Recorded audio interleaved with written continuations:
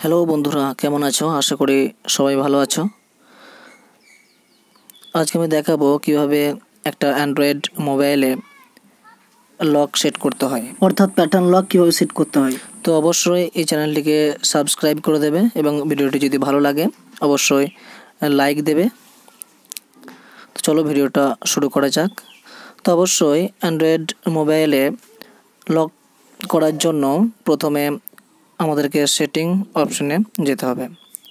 সেই জন্য সেটিং অপশনে ক্লিক করব। সেটিংয়ে যাওয়ার পর অবশ্যই নিচের দিকে এসে পাসওয়ার্ড অ্যান্ড সিকিউরিটি বলে একটা অপশন রয়েছে, ওখানে ক্লিক করতে হবে। ক্লিক করার পর এখানে পাসওয়ার্ড ফিঙ্গারপ্রিন্ট এবং ফেস আনলক বলে আমরা অপশন দেখতে পাচ্ছি। তিনটি আসলে অফ রয়েছে পাসওয়ার্ড এর নিচে অফ ফিঙ্গারপ্রিন্ট এর নিচে অফ লেখা রয়েছে এবং ফেস আনলক এর নিচেও কিন্তু অফ লেখা রয়েছে। আসলে আমার ফোনটিতে এখন বর্তমানে কোনো ধরনের লক কিন্তু দেওয়া নেই বা পাসওয়ার্ড দেওয়া নেই। তো আমরা প্রথমে পাসওয়ার্ডটি সেট করে দেখাবো। এর জন্য পাসওয়ার্ড অপশানে ক্লিক করব।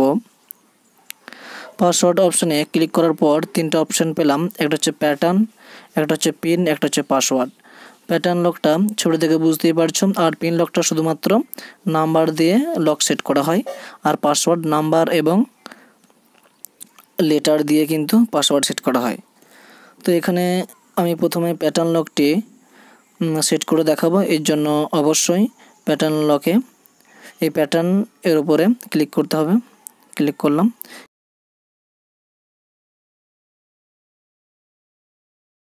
গট ইট এই লেখাটি কিন্তু ক্লিক করতে হবে। ক্লিক করার পরই আসলে প্যাটার্নটি সেট করতে বলছে এখানে।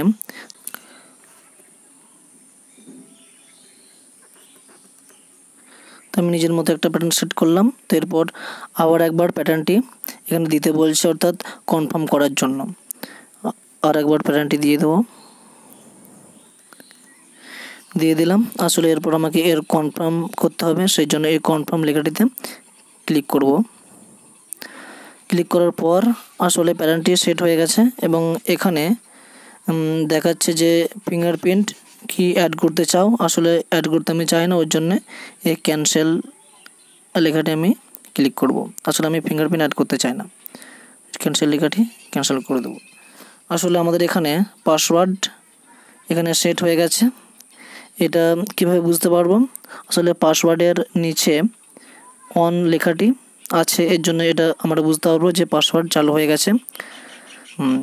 এবার পাসওয়ার্ড আসলে কোন ধরনের পাসওয়ার্ড চালু হয়েছে ওটা কী করে বুঝব? ওর জন্য আমাদেরকে অবশ্যই পাসওয়ার্ডে ক্লিক করতে হবে।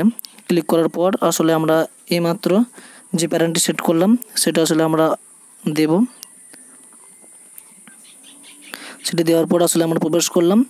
প্যাটার্ন পিন আর পাসওয়ার্ড তিনটে অপশন দেখতে পাচ্ছি। আসলে প্যাটার্ন এই লকের নিচে কারেন্ট স্ক্রিন লক আসলে বর্তমানে এই প্যাটার্নটি আমাদের চালু রয়েছে। এর জন্য নিচে কারেন্ট স্ক্রিন লক দেখাচ্ছে।